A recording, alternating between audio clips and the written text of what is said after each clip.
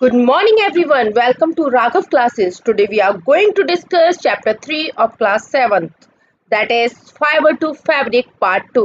आज इस video lecture में हम सिल्क और life history of silk moth के बारे में डिस्कस करेंगे so let's come to the topic Silk fiber is obtained from the cocoon of the silkworm. The silk moth lives on the leaves of mulberry plant. जो silk fibre होता है, वो हमें कहाँ से ऑप्टेन होता है? जो सिल्क वॉर्म होता है, उसके कोकून से हमें सिल्क फाइबर मिलता है। तो आपको क्या लर्न करना है? जो सिल्क फाइबर है, हमें कहाँ से ऑप्टेन होता है? सिल्क वॉर्म के कोकून से ऑप्टेन होता है। सिल्क मौत कहाँ पर रहता है? जो सिल्क मौत होता है या सिल्क वॉर्म होता है, वो रहता है मलबेरी प्लांट की जो लीव्स होती हैं, उन पर रहता है।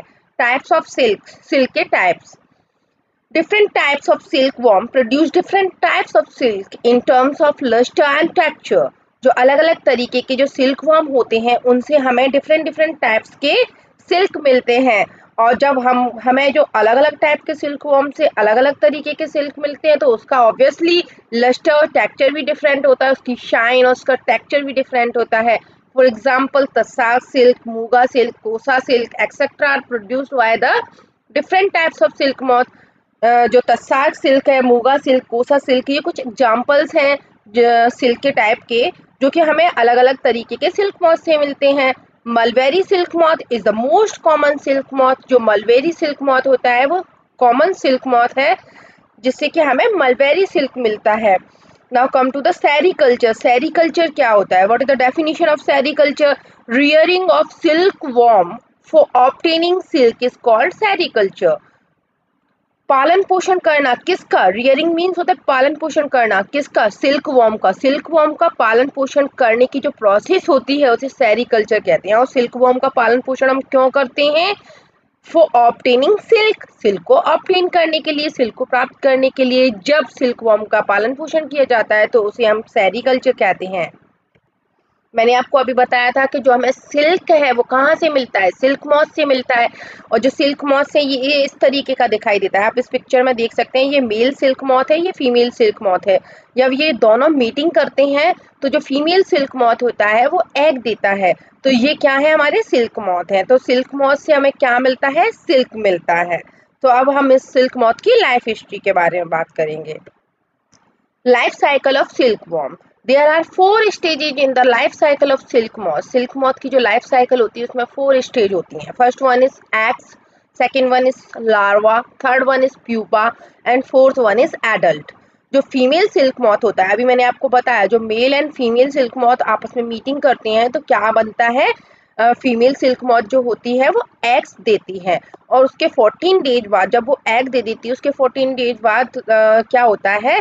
एग से लार्वा बनता है और जो लार्वा होता है, उसी को हम कैटरपिलर या सिल्क वॉर्म कहते हैं। ये जो कैटरपिलर है, वो धीरे धीरे ग्रो होता है और अपनी नेक्स्ट स्टेज में चला जाता है। उसे हम प्यूपा कहते हैं। और जो प्यूपा होता है, उस, वो क्या है? सीक्रेट करता है एक फाइबर्स को जो कि प्रोटीन का बना होता है और अपने चारों तरफ़ एक नेट लाइक स्ट्रक्चर को वीव कर लेता है। ये जो नेट लाइक स्ट्रक्चर वीव करता है, वो ऑब्वियसली फाइबर का बना होता है, जो फाइबर्स का होता है। जिससे कि ये अपने आप को पूरी तरीके से कवर कर लेता है। ये जो नेट लाइक स्ट्रक्चर इसके चारों तरफ़ फॉर्म हो जाता है वही ऑब्वियसली उसी से हमें क्या मिलता है? सिल्क मिलता है। और जो आउटर कवरिंग होती है मींस जिस फाइबर्स फाइबरस स्ट्रक्चर से जो प्यूपा को कवर किया जा रहा है तो उसकी आउटर कवरिंग जो होती है, उसे हम कोकून कहते हैं। और कोकून कुछ समय तक रहता है, उसके बाद कोकून ग्रो होके कोकून जब कोकून के अंदर जो प्यूपा होता है, वो ग्रो होके किसमें चेंज हो जाता है? वो सिल्क मॉथ में चेंज हो जाता है। तो ये लाइफ हिस्ट्री है इसकी सिल्क वॉर्म की। इसमें कौन कौन सी स्टेज होती है? एग लार्वा प्यूपा और एडल्ट अब इसको हम डायग्राम्स के थ्रू समझेंगे। आप देख सकते हैं, ये डायग्राम है life cycle of silk moth का। इसमें आप देख रहे हैं जो फीमेल सिल्क मॉथ है, उन्होंने क्या किया? एक्स दिए, ये जो एक्स है, ये आप देख सकते हैं, ये मलबेरी प्लांट की लीव्स हैं। मलबेरी प्लांट की लीव्स पर ही ये एक्स देते हैं और ये मलबेरी प्लांट्स की लीव्स को खाकर काफ़ी दिन तक इवन 25 टू 30 डेज़ तक इनको खाते हैं, इनके पास रहते हैं और इवन दिन रात इनको खाकर थोड़ा सा हेल्दी हो जाते हैं और इनका अच्छी तरीके से ग्रो होते हैं एंड लार्ज हो जाते हैं, अपने साइज़ में भी बढ़ जाते हैं। तो उसके बाद ये किसमें कन्वर्ट हो जाते हैं? लार्वा में कन्वर्ट हो जाते हैं, जिसे कि हम कैटरपिलर भी कहते हैं। और ये जो लार्वा होता है धीरे धीरे ये नेक्स्ट स्टेज में पहुँच जाता है ग्रो होके, जिसे हम प्यूपा कहते हैं। जो प्यूपा होता है, वो अपने चारों तरफ़ एक नेट लाइक स्ट्रक्चर फॉर्म कर लेता है, जो कि प्रोटीन का बना होता है, जो कि एयर के कांटेक्ट में आके बहुत ही ज़्यादा हार्ड हो जाता है। तो जो हार्ड कवरिंग होती है, जो इसकी आउटर कवरिंग होती है, आप ये देख सकते हैं ना वाइट वाइट जो फाइबर की जो आउटर कवरिंग है, इसी को हम क्या कहते हैं? कोकून कहते हैं। इस आउटर कवरिंग के अंदर कौन है? इसके अंदर प्यूपा है और ये प्यूपा ग्रो होके नेक्स्ट स्टेज में चला जाता है। ये प्यूपा ग्रो होके सिल्क मॉथ में कन्वर्ट हो जाता है नेक्स्ट स्टेज में। ये आप देख सकते हैं, यहाँ पर जो कुकून के अंदर प्यूपा ग्रो होके नेक्स्ट स्टेज में जा रहा है सिल्क मॉथ बन रहा है और फाइनली ये एडल्ट सिल्क मॉथ बना लेता है और कोकून से बाहर आ जाता है। तो ये क्या है? Life history life cycle of silk moth है। अभी मैंने आपको बताया कि जो सिल्क मॉथ होता है, वो कहाँ पर रहता है? मलबेरी ट्री पर रहता है। मलबेरी प्लांट दिखता कैसे है? ये मलबेरी ट्री है। आप देख सकते हैं, ये इस टाइप का दिखाई देता है। ये मलबेरी ट्री की लीव्स है, जिस पर जो आपका सिल्क मॉथ होता है, वो रहता है। जो सिल्क मॉथ है, आप सिल्क मॉथ ने एग्स दिए। जो एग्स हैं एग्स लार्वा में कन्वर्ट हो रहे हैं और लार्वा धीरे धीरे धीरे धीरे जो मलबेरी प्लांट्स की लीव्स को खाता है और प्यूपा से सिल्क मॉथ में कन्वर्ट हो जाता है तो ये पूरी प्रोसेसिंग इस मलबेरी ट्री के पास ही होती है। Clear now come to the processing of silk अब हम सिल्क की प्रोसेसिंग के बारे में बात करेंगे कि जो प्रोसेसिंग होती है जिस किस तरीके से हमें सिल्क मॉथ से सिल्क ऑप्टेन होता है तो उस प्रोसेसिंग में कौन कौन से स्टेप्स इन्वॉल्व होते हैं। फ़र्स्ट स्टेप है हमारा rearing of silk worm mean silk worm को हम पालन पोषण करते हैं। किसके लिए? वो ऑप्टेनिंग सिल्क जिसे मैंने अभी आपको बताया था, जो सेरिकल्चर होता है, उसमें क्या किया जाता है? रियरिंग किया जाता है सिल्क वॉर्म की। फॉर ऑप्टेनिंग सिल्क सिल्क को ऑप्टेन करने के लिए जब हम सिल्क वॉर्म का पालन पोषण करते हैं तो वो सेरिकल्चर कहलाता है। तो इसका फ़र्स्ट स्टेप यही है कि अगर हमें सिल्क चाहिए तो उसके लिए ऑब्वियसली हमें सिल्क वॉर्म को पालन पोषण करना पड़ेगा, उसकी रियरिंग करनी पड़ेगी। नेक्स्ट स्टेज में हम क्या करते हैं? उसकी रीलिंग करते हैं देन डाइंग करते हैं। उसके बाद डाई करने के बाद फाइनली उसको कलर करने के बाद उसको स्पिन या बीव करके हम क्या करते हैं? क्लॉथ क्लॉथिंग मटेरियल तैयार कर लेते हैं फैब्रिक्स तैयार कर लेते हैं। अब प्रोसेसिंग ऑफ़ सिल्क को हम इस डायग्राम्स के थ्रू समझेंगे। आप देख सकते हैं फ़र्स्ट स्टेप में था रियरिंग ऑफ़ सिल्क वॉर्म के सिल्क वॉर्म का हम पालन पोषण कर रहे हैं। ये क्या है आपका? सिल्क मॉथ है सिल्क वॉर्म है। ये इसको किस पर पाया पाला जाता है, ये कहाँ पर रहता है, ये मलवेरी ट्री की लीव्स पर रहता है, जहाँ पर कि मेल और फीमेल मीटिंग करते हैं और जो फीमेल सिल्क मॉथ होता है, वो एग देता है। ये आप देख सकते हैं, ये मलवेरी ट्री की लीव्स है, जहाँ पर इनके एग्स हैं और ये एग्स क्या करते हैं? लार्वा में कन्वर्ट हो जाते हैं और मलबेरी ट्री की लीव्स को खाकर काफ़ी हेल्दी हो जाते हैं, अपने साइज़ में बढ़ जाते हैं। उसके बाद ये अपने चारों तरफ़ एक हार्ड कोटिंग बना लेते हैं। जो प्यूपा होता है, उसके चारों तरफ़ जो कोटिंग बन जाती है, इसी से हमें फाइबर मिलता है। आप देख सकते हैं, ये क्या है आपका? फाइबर है सिल्क फाइबर है। अब इस सिल्क फाइबर का क्या किया जाएगा? रीलिंग की जाएगी देन फैक्ट्री वगैरह में इसको रीलिंग किया जाएगा देन इसको डाई किया जाएगा डिफरेंट डिफरेंट कलर में, जिससे कि हमें ये फैब्रिक्स मिलेगा। आप देख सकते हैं ये डिफरेंट डिफरेंट कलर के फैब्रिक्स मिल रहे हैं। तो ये आफ्टर डाइंग मिलते हैं। देन इसकी वीविंग और स्पिनिंग करने के बाद हमें फैब्रिक मिल जाता है। और जिससे कि हम क्लॉथिंग मटेरियल तैयार करते हैं क्लॉथ तैयार करते हैं सुंदर सुंदर तरीके के। अब प्रोसेसिंग ऑफ़ सिल्क में आप फ़र्स्ट स्टेप में हमने बताया था आपको रियरिंग ऑफ़ सिल्क वर्म तो रियरिंग कैसे करते हैं? तो इसके बारे में देखते हैं। The female silk moth lay eggs जो फीमेल सिल्क मॉथ होता है, वो अंडे देता है। Eggs are stored over clean cloth और पेपर स्ट्रिप और जो एग्स होते हैं, उनको स्टोर कहाँ किया जाता है? क्लीन क्लॉथ में मीन साफ़ कपड़े पर या फिर पेपर स्ट्रिप पर। इसको स्टोर किया जाता है। The eggs are warm to a suitable temperature और जो एग्स होते हैं, उनको प्रॉपर सूटेबल टेम्परेचर प्रोवाइड किया जाता है, जिससे इनको गर्मी प्रोवाइड की जाती है, जिससे कि ये जो एग्स हैं, वो लार्वा में कन्वर्ट हो सके और जो लार्वा होता है, उसी को हम क्या कहते हैं कैटरपिलर या सिल्क वॉर्म कहते हैं। जो सिल्क वॉर्म होता है, उसको कहाँ रखा जाता है? जो बेम्बू ट्रे होता है, उस पर रखा जाता है, जहाँ पर कि ये मलबेरी लीव्स को खाते हैं और अपने साइज़ में बढ़ जाते हैं इंक्रीज करते हैं। और कुछ twenty five to thirty days तक हम देखते हैं कि जो सिल्क वर्म होता है, वो अच्छी तरीके से मलबेरी लीव्स को खाता है, उसके बाद खाना स्टॉप कर देता है और अपने चारों तरफ़ कोकून बनाना शुरू कर देता है। मैंने आपको बताया था जो कोकून होता है, क्या होता है? जो प्यूपा के चारों तरफ़ जो हार्ड कोटिंग होती है, उसको हम कोकून कहते हैं और कोकून जो होता है, वो एयर के कॉन्टेक्ट में आके हार्ड हो जाता है। और क्या बनाता है? आउटर कवरिंग बना लेता है, जो कि फाइबर की बनी होती है और प्रोटीन की बनी होती है। और जो कोकून है कोकून के अंदर क्या होता है, जो प्यूपा है, पूरी तरीके से डेवलप होके सिल्क मॉथ बना लेता है। तो इस तरीके से हम सिल्क वॉर्म की रियरिंग करते हैं। आप इस डायग्राम में भी देख सकते हैं कि रियरिंग कैसे हो रही है। ये सिल्क मॉथ है, ये मलबेरी प्लांट की लीव्स पर रहता है, जहाँ पर इन्होंने एग्स दिए। एग्स ये आप मलबेरी ट्री की लीव्स को खाकर 25 टू 30 डेज़ तक अच्छी तरीके से दिन रात खाते हैं और अपने साइज़ में इंक्रीज कर लेते हैं।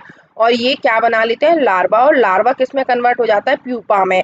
और ये क्या है? बेम्बू ट्रे है, जिस पर कि ये रखा जाता है और मलबेरी ट्री की लीव्स को खाता है। और ये आप देख रहे हैं, ये हार्ड कोटिंग बन रही है चारों तरफ़ प्यूपा की। ये कोटिंग ही क्या कहलाती है? कोकून कहलाती है, जिससे कि हमें सिल्क वॉर्म ऑप्टेन होता है सिल्क ऑप्टेन होता है। रीलिंग ऑफ़ सिल्क अब नेक्स्ट स्टेप है हमारा रीलिंग ऑफ़ सिल्क सिल्क को कैसे रीलिंग किया जाता है। Cocoon are collected and kept in sunlight और बॉइल्ड और एक्सपोज टू स्टीम जो कोकून होता है, उसको कलेक्ट किया जाता है और सनलाइट में रखा जाता है या फिर थोड़ा सा बॉयल किया जाता है या स्टीम में रखा जाता है।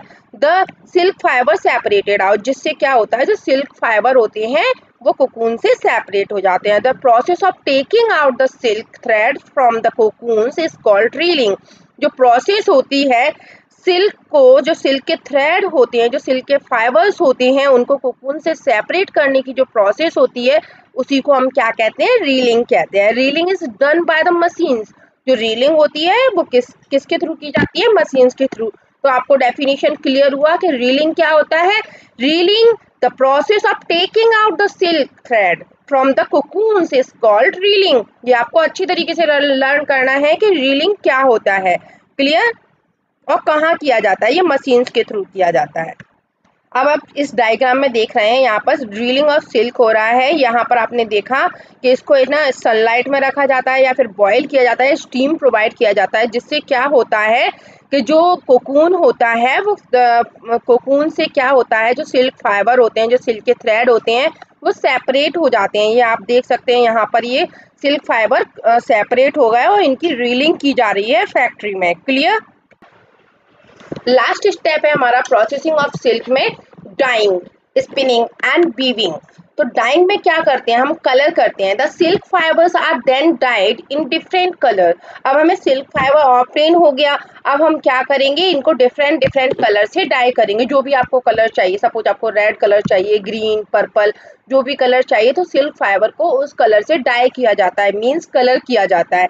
And then spinning and weaving फिर उसकी स्पिनिंग की जाती है वीविंग की जाती है। और उसके बाद क्या करते हैं ना silk fibres are then spun into the thread and woven into different types of silk cloths example के तौर पे फाइबर्स तो मीन्स जो क्या रहता है, आपका जो सिल्क फाइबर्स होते हैं, उनको बाद में स्पन किया जाता है स्पन किया जाता है थ्रेड्स में। और उसको बीव किया जाता है अलग अलग तरीके के क्लॉथ्स बनाने में, जैसे कि आप देखते हैं, आपके जो भी पार्टी वेयर क्लॉथ्स होते हैं, साड़ी होती है, कुर्ते होते हैं, ये किसके बनते हैं? ज़्यादातर जो भी पार्टी वेयर ड्रेस वगैरह होती है ना ट्रेडिशनल ड्रेस वगैरह, वो आपके सिल्क से बनाए जाते हैं। तो ये क्या है आपका? सिल्क की पूरी प्रोसेसिंग हो गई कि किस तरीके से हमें सिल्क ऑप्टेन होता है clear now come to the uses of silk अब हम सिल्क के उपयोग के बारे में बात करेंगे। Silk is a costly fabric जो सिल्क होता है वो काफ़ी कॉस्टली फैब्रिक है। एक्चुअली जो भी हमें, है ना नेचर से मिलता है फैब्रिक, वो सभी कॉस्टली होते हैं। जबकि जो हम आर्टिफिशियली फैक्ट्री वगैरह में तैयार करते हैं, वो एज़ कंपेयर टू जो नेचुरल फाइबर्स होते हैं, उनके कंपेयर में कैसे होते हैं, थोड़े से चीप होते हैं। अब जो सिल्क है, silk fibre is use for weaving cloth specially traditional dresses in India like sari kurta shawl other wedding cloths जो सिल्क फाइबर है, वो किसके लिए यूज़ किया जाता है? स्पेशली जो ट्रेडिशनल ड्रेसेज हैं, उनके लिए जैसे साड़ी है, कुर्ता है, सॉल है, और जो वेडिंग ड्रेस जो शादियों में जो कपड़े पहने जाते हैं, उनके लिए वेडिंग ड्रेस वगैरह के लिए, जैसे शेरवानी वगैरह है, उसके लिए यूज़ की जाती है, लहंगा वगैरह है तो इनके लिए यूज़ करते हैं। Silk had always prized for its lush and fine quality. Silk का जो प्राइस होता है हमेशा एक्सपेंसिव होता है। क्यों? क्योंकि वो डिपेंड करता है उसकी शाइन और उसकी फाइन क्वालिटी पे। इसका कपड़ा बहुत ही अच्छा होता है, बहुत ही शाइनी होता है। The countries which produce the silk on a large scale are China first rank and India जो सबसे ज़्यादा सिल्क को प्रोड्यूस करने वाली जो कंपनी है, वो कौन है? कौन कहाँ पर पाई जाती है? वो चाइना में है। फ़र्स्ट नंबर पे फ़र्स्ट रैंक है चाइना का है, जो सबसे ज़्यादा सिल्क प्रोड्यूस करता है और सेकेंड नंबर पे हमारा इंडिया है। ओके क्लियर आई होप आपको ये वीडियो पसंद आया होगा. If you like my video please subscribe my channel thank you have a nice day